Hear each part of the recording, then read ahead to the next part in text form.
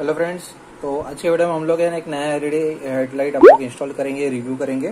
तो ये है फाइटर वाला है एच फोर ये मैंने इसका एक ऑलरेडी पहले एक वीडियो बनाया था, इसको मैंने अपनी आई ट्वेंटी में लगाया था और काफ़ी अच्छा रिस्पांस मुझे मिला आई ट्वेंटी में।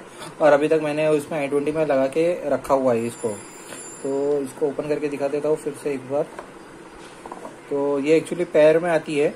तो एक पीस इसमें नहीं है, क्योंकि ये ऑलरेडी मैंने अपने आरएक्स में मैंने इसको लगा दिया, क्योंकि काफ़ी अच्छा रिस्पॉन्स मिला तो मैंने इसको आरएक्स में लगा दिया।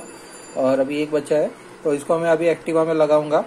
और मैं आपको इसका बताऊँगा, इसका ब्राइटनेस कैसा आता है, क्या रिस्पॉन्स वो मैं आपको बताता काफ़ी अच्छा आर एक्स में मुझे काफ़ी अच्छा रिस्पॉन्स मिला। अभी एक्टिवा में देखते कैसा आ रहा है। और आई ट्वेंटी में मैंने इसको लगाया था काफ़ी अच्छा लगा मुझे। मैं आपको इसको फिर से आपको दिखा देता हूँ। तो ये देखिए, ये ऐसा ऐसा फिट होगा ये। ऐसा, इस इस प्रकार से फिट होगा। इसमें फ़ैन जो है यहाँ पे दिया हुआ है। ना यूजुअली फ़ैन ऐसा पीछे की तरफ़ रहता है तो इसमें फ़ैन अंदर की साइड पे दिया है।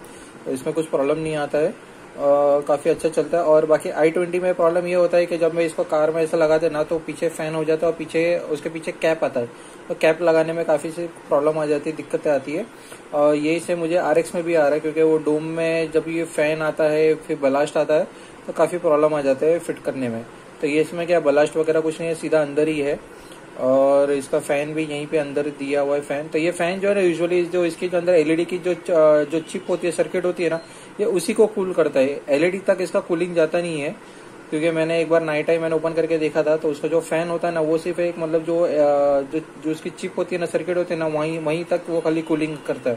बाकी आगे जाता नहीं है। बाकी इसको अभी लगा के देखते हैं इसका क्या रिस्पॉन्स है कैसा आता है।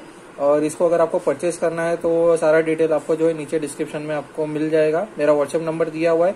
आप मेरा व्हाट्सएप के प्रोफ़ाइल में जाके चेक करेंगे तो आपको सब कुछ आपको जो है मिल जाएगा इसका डिटेल्स आपको। तो इसको आप इंस्टॉल करते हैं। और ये जो है ना एक्चुअली पैर में आता है।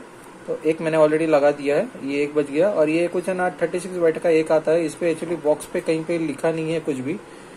ये देखिए बॉक्स पे कुछ नहीं है।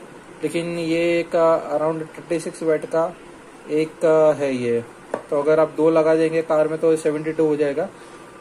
तो है ऐसे मतलब कार में अच्छा रिस्पॉन्स आ रहा है इसका। अभी इसको देखते हैं, अभी इस एक्टिवा में कैसा रिस्पॉन्स इसका मिलता है। तो चलो फिर इसको फटाफट इसको इंस्टॉल करते हैं और अपन नाइट का ब्राइटनेस हम लोग चेक करेंगे। तो अभी यहाँ पे मैं आपको ब्राइटनेस दिखाता हूँ। अभी आपने आर एक्स थर्टी फाइव पे लगाया हुआ है। तो इसको ऑन कर देता है।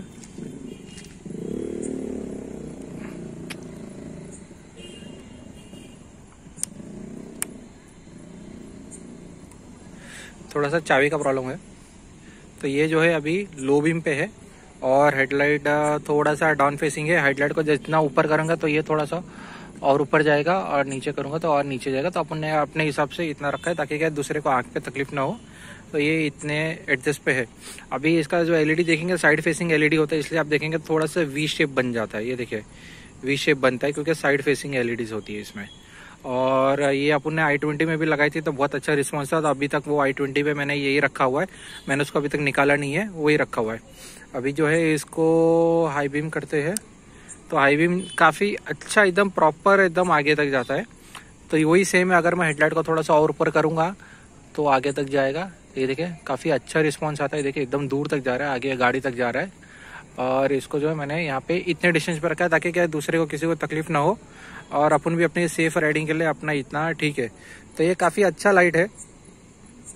तो राउंड हेडलाइट में भी इसका अच्छा रिस्पॉन्स दिखा क्योंकि जो राउंड राउंड हेडलाइट जो मैंने लगाई है, ये रॉयल एनफील्ड अपनी क्लासिक 350 की हेडलाइट मैंने इसमें सेट किया हुआ है।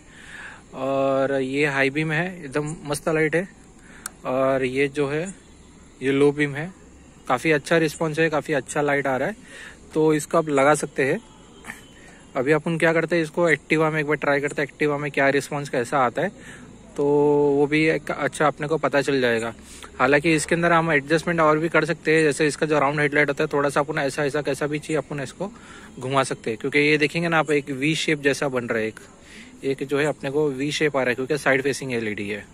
अभी हम लोग क्या करते हैं एक्टिवा में एक बार देखते हैं, इसको, इसका एक्टिवा में इसका ब्राइटनेस कैसे आता है।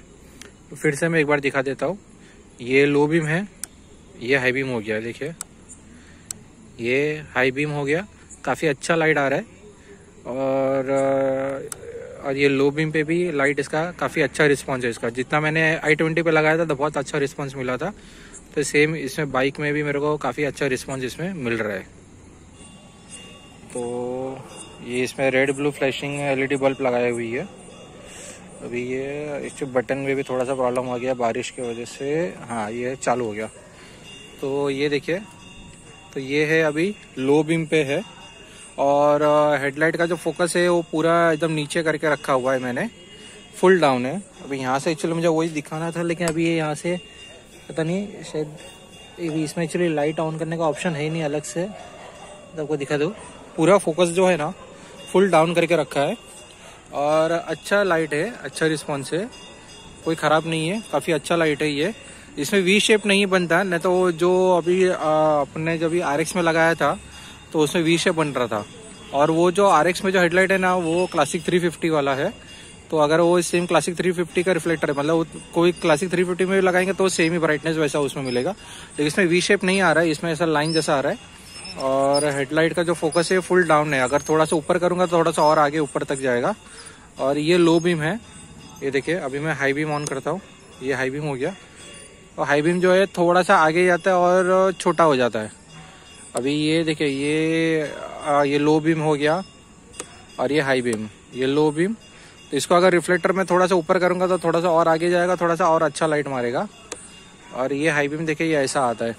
तो एलईडी हेडलाइट का ना यही रहता है मतलब कोई भी अलग अलग गाड़ी में डालेंगे अलग अलग रिफ्लेक्टर में आपको अलग अलग आपको जो है फोकस आपको मिलेगा। ये सब मतलब चेंज होते रहता है। ये हर एक गाड़ी का ऐसा होता ही है। अलग अलग रिफ्लेक्टर में अलग अलग ये सब काम करते रहता है। तो अभी ये एक्टिवा में ऐसे तो का, काफ़ी लोग पूछते हैं कि एक्टिवा के लिए कौन सा अच्छा लाइट है। तो मैं आर टी रिकमेंड करता हूँ कि वो अच्छा है एक्टिवा के लिए क्योंकि उसका रिफ्लेक्टर छोटा है वो हिसाब से वो आरटीडी अच्छा रिस्पॉन्स देता है। लेकिन अगर ये भी अगर आपको लगाना है तो ये भी अच्छा रिस्पॉन्स है। मैं ऐसा दूर से आपको दिखा देता हूँ। दूर से कैसा पीछे से कैसा दिखेगा तो ये देखिए पीछे से ऐसा है।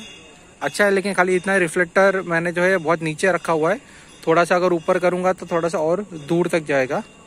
तो वापिस एक बार दिखा देता ये लो बीम है और ये हाई बीम। हाई बीम एकदम छोटा सा आ, आ रहा है।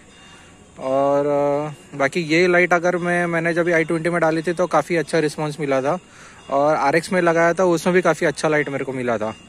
लेकिन एक्टिवा के लिए ठीक है क्योंकि रिफ्लेक्टर छोटा है इसलिए कुछ नहीं कर सकते तो ऐसे रहेगा।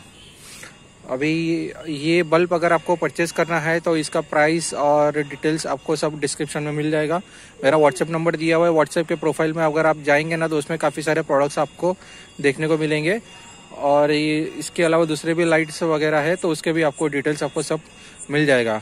तो इसका अगर परचेस करना है तो प्लीज़ डिस्क्रिप्शन पे चेक कीजिएगा। और बाकी अगर आपको कुछ, अगर कुछ क्वेरी है तो आप कमेंट कर देना। और इंस्टाग्राम आईडी भी दिया हुआ है।